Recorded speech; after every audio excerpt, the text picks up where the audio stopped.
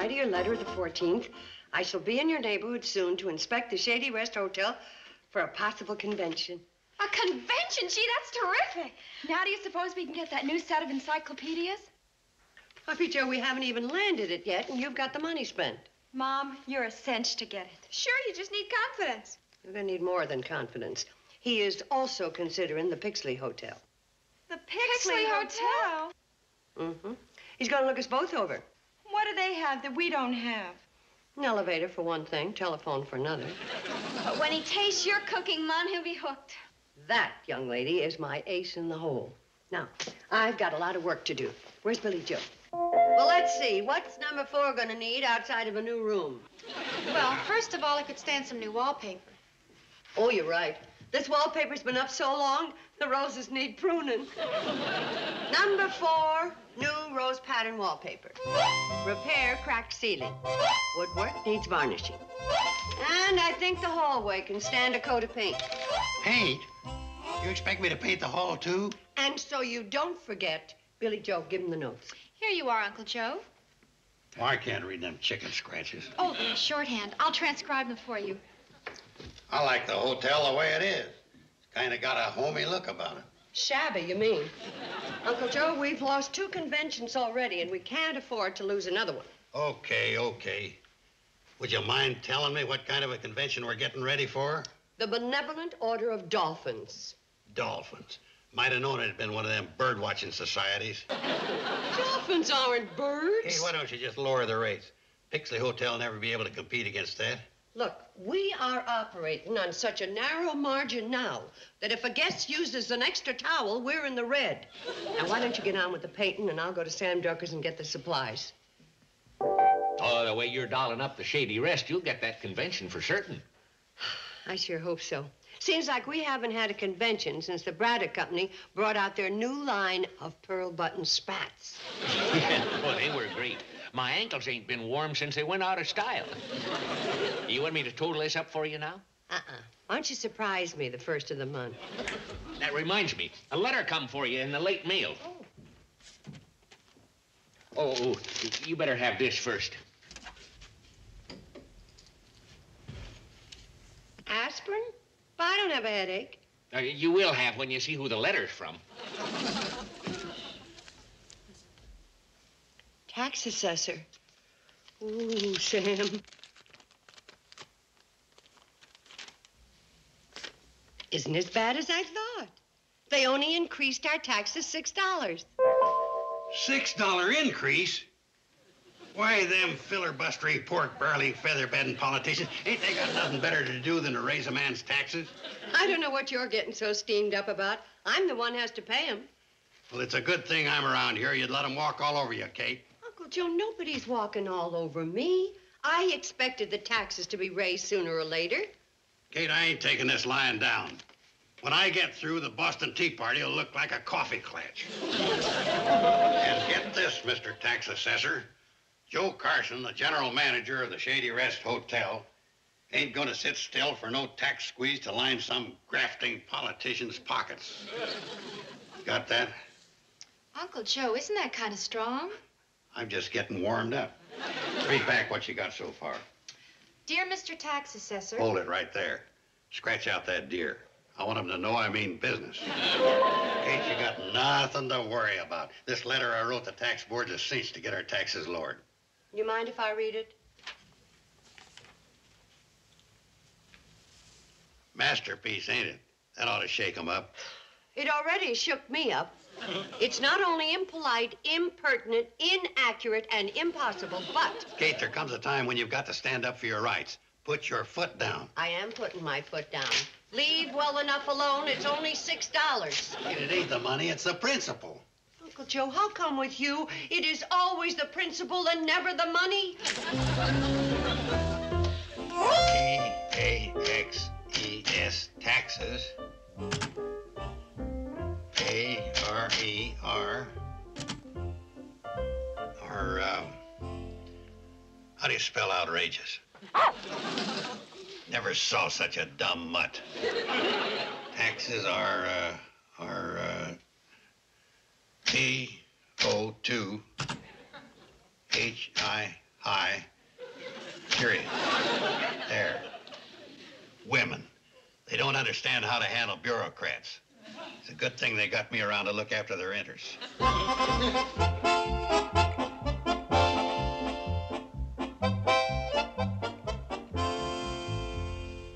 This the only tax complaint we received from Hooterville, Miss Starkey? Yes, sir. Just the one. Mr. Joe Carson, Shady Rest Hotel.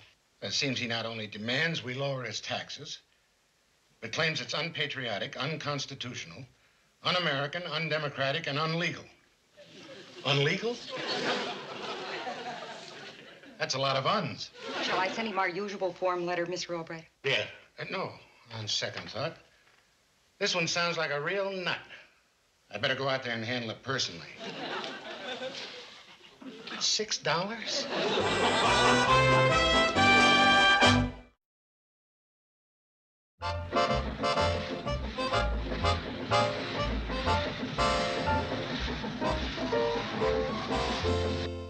What about me picking out the material?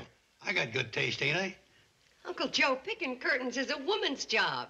Now, would you please clean up the hotel? I don't want it looking like a depressed area. Come on, girls. Women. They're all alike. Running off when there's work to be done. There.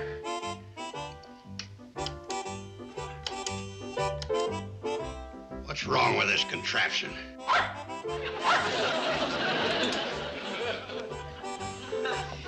I know, I know.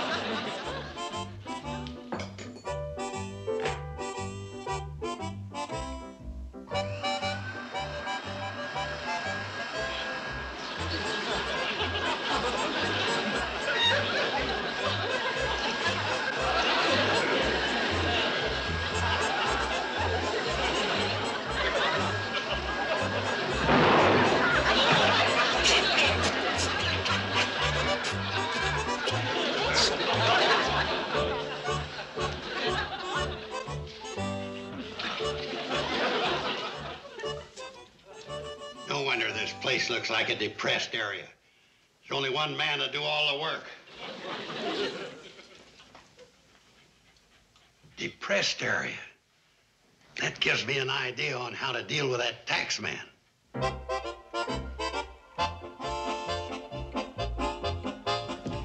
Train's right here, Mr. Forbes. You can go ahead and get on. Floyd and Charlie will be along in a minute. Thank you.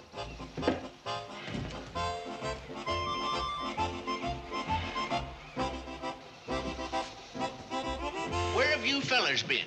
Over at the barber shop watching haircuts. Yeah, we watched Dobie Shortridge get his haircut, and then we watched Jed Watson get his yeah, well, some other time, Floyd. You know who just got on that train? Who? Mr. Forbes, the fella that's going to pick a hotel for the Benevolent Dolphins convention. Well, don't worry about a thing, Sam. We'll tell Mr. Forbes how great Kate's place is.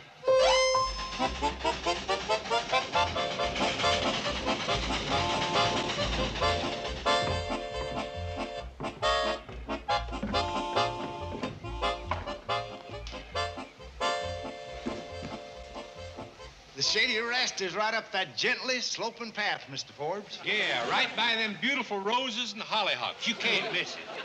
Thank you, gentlemen. Now, we'll be taking on a little water here at the tank, and if you like, why, we'll wait and take you to Pixley. If the Shady Rest is one-eighth as good as you fellows say it is, there's no point of my going on to Pixley.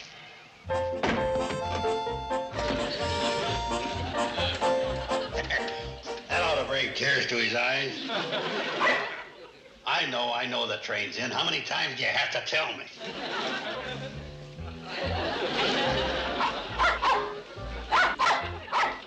Somebody's coming, huh?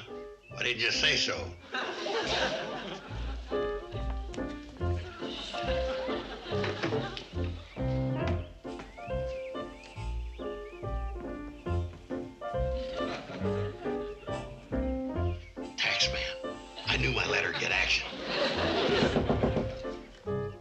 In, it's open.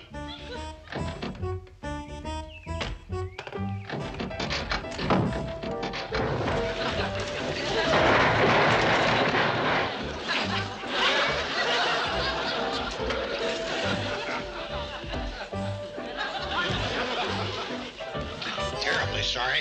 We've been meaning to get this fixed. The price of nails is so high, we, we just couldn't see our way clear. I'm. Uh, I'm Whitney Forbes. I uh, assume you got my letter. Joe Carson, you got mine too, didn't you? Of course, that's why I'm here. Yes. Well, come on in, I'll show you around the lobby. Uh, would you mind giving me a hand with this door?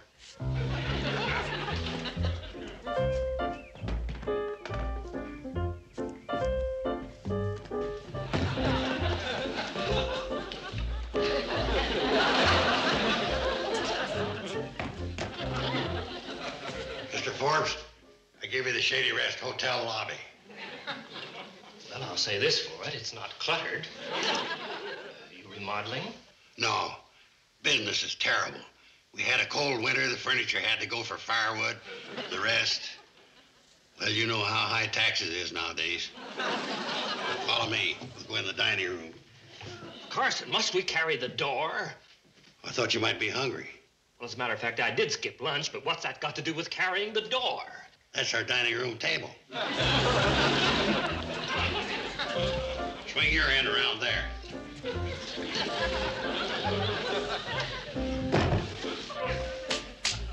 Well, it ain't the Ritz, but we don't get many complaints. Of course, we don't get many customers either. Here, sit down. I'll see what we got to eat.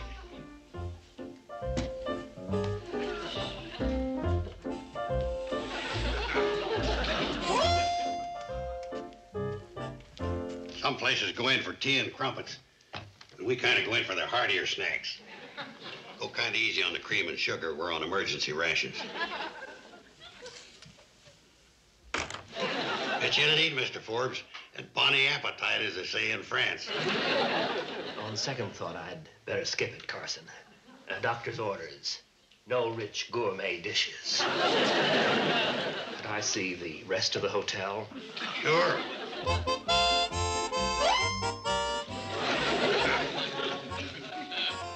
This is your presidential suite? Yeah. Hey, you'll notice a view. All our deluxe rooms have a view.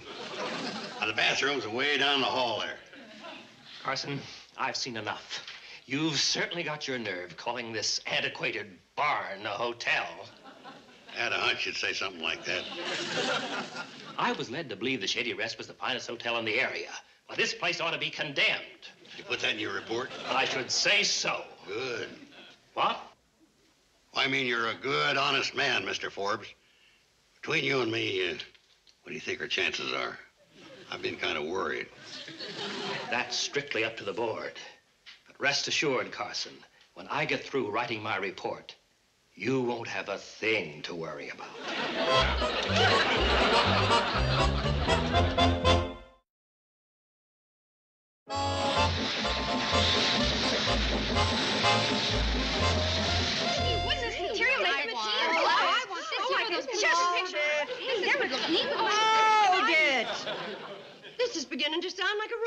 rummage sale. Sam, what do you think I should do?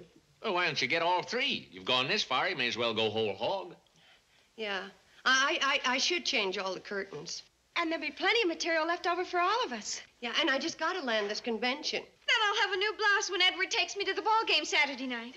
You got to spend money to make money. And I'll look real slinky in this new material. Sam, wrap 'em up. Oh! Kate, the Shady Rest is going to be the most beautiful hotel for miles around. Oh!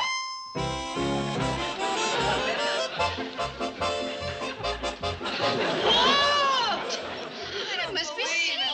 World. Kate, I sure had him buffaloed. We'll not only get our taxes lowered, but we may even get some of that war on poverty money.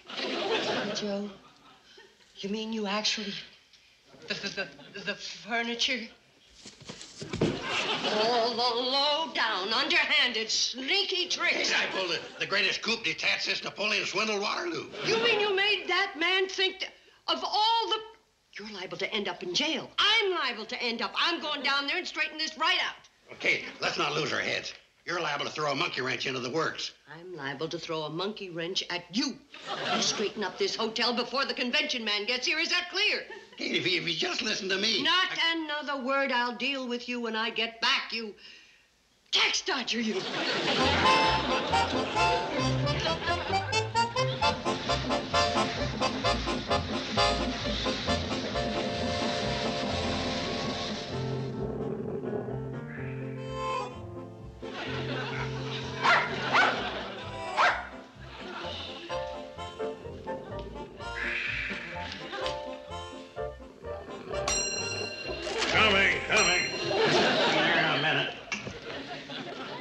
Dumb dog. That bell's for official business only. Uncle Joe, there's someone coming up the path. It's that convention man. I'll give him the Super Deluxe tour. Girls.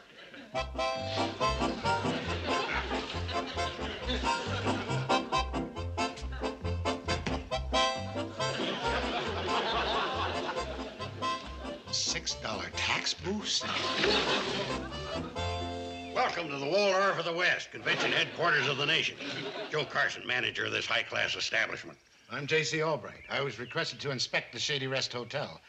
It's a nice looking place you have here. You ain't seen nothing yet.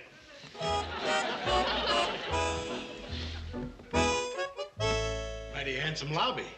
Yeah, practically everything in it's a priceless antique. Furnishings alone worth a fortune. Is that so? We had no idea. You'll note that members of our huge staff are constantly busy keeping the place spotless. Girls. Now, you'll notice here we've got every service you could ask for.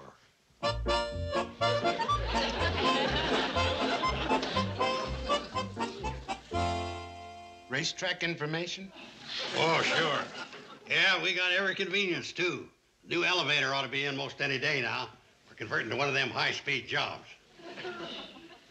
A high speed elevator in a two story building? Oh, we got a high second floor.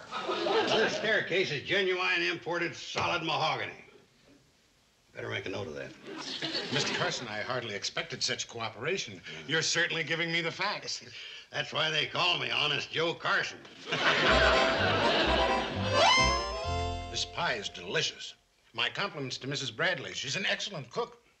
Well, she should be. She studied in the Louvre in Paris. Girls, look in our fully automated kitchen and see if the imported caviar and champagne's got here yet.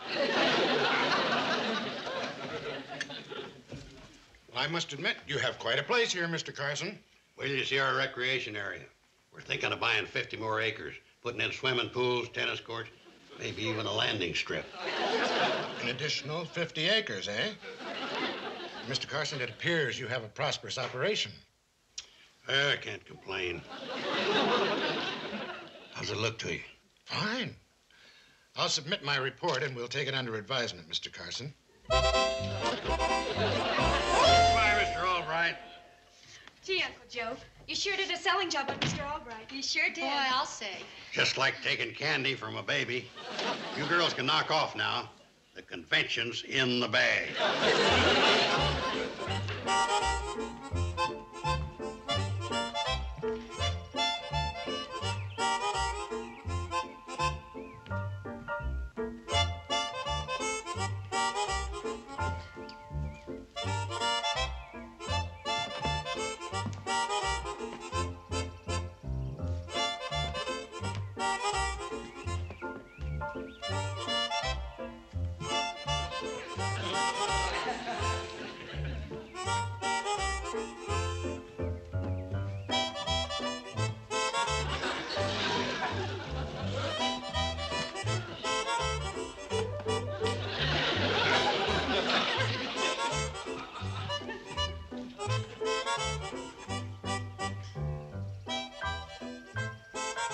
It's your turn.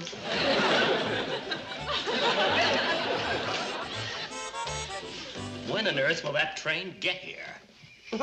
You're very optimistic. I was wondering if. All aboard, folks. All aboard what? Well, the cannonball's down the track about a quarter of a mile, and for the time being, this close we're going to get to the depot. Why? Well, the station master's cat's having her kittens on the track.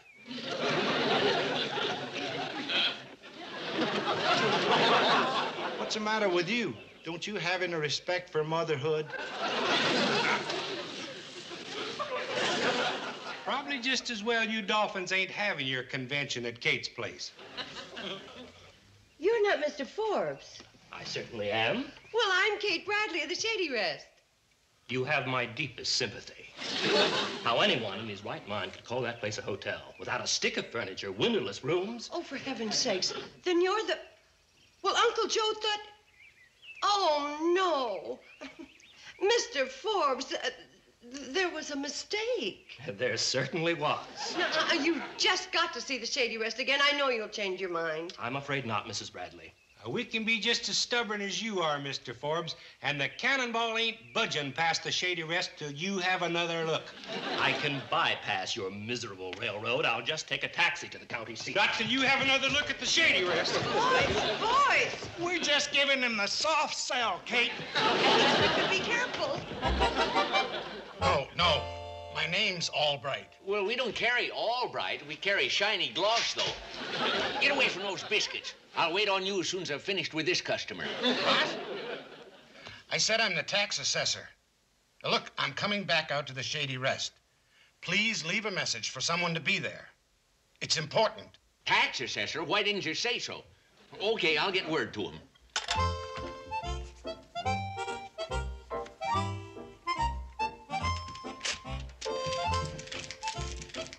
Take this to the Shady Rest.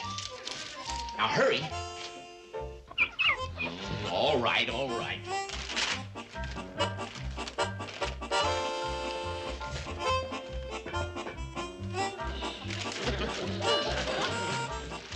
Here. On. And don't stop for a snack along the way.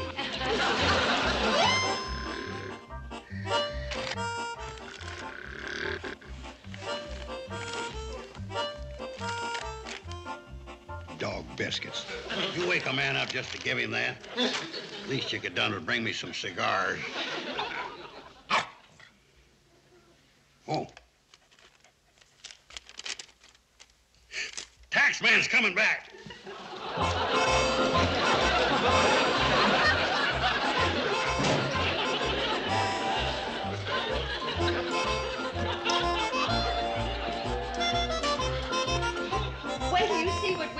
The hotel, Mr. Forbes. You won't believe your eyes. Perhaps I was a bit hasty. Oh, I know you'll reconsider. Now, see for yourself.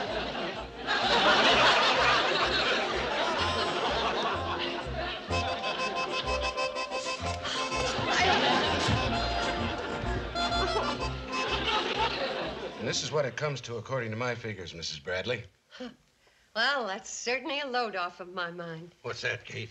Oh, you uh, must have met Mr. Carson, general manager of the Shady Rest, who just landed a convention for the Pixley Hotel. That was a natural mistake, Kate, that anybody could have made. Oh, not anybody, Uncle Joe. Just you. It seems we made a mistake, too, Mr. Carson, on your tax bill over the past 10 years. You did? Yes. You were overcharged and have a refund coming of $126. It gives me pleasure to present you with this check, Mrs. Bradley. Well, thank you, Mr. Albright. This um, almost makes up for losing the convention. You mean we're getting money back? That's right. That letter you wrote called it to our attention. You see, Kate? You got me to thank for that. I told you it took a man of brains to handle Oh, for heaven's sake.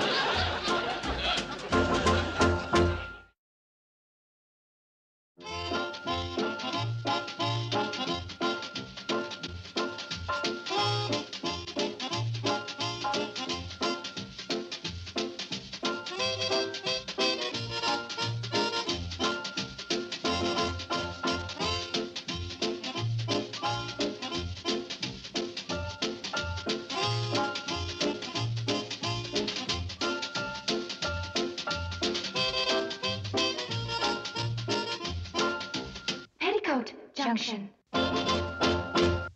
This has been a Filmways presentation.